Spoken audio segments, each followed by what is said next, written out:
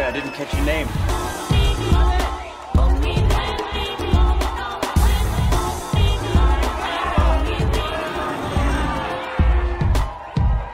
Eva.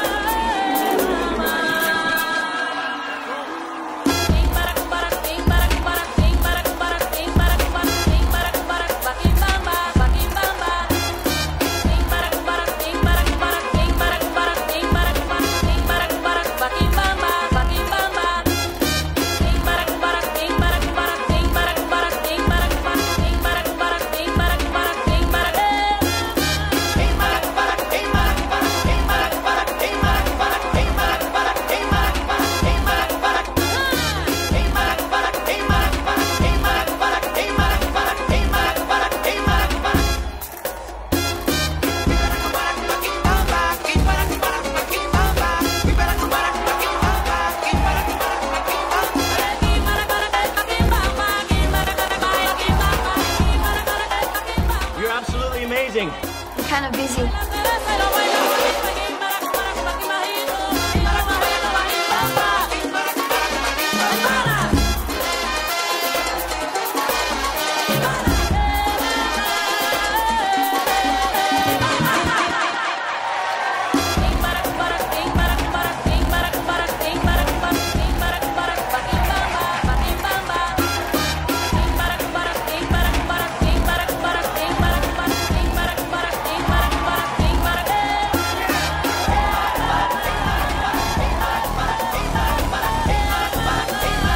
That's what I call a battle.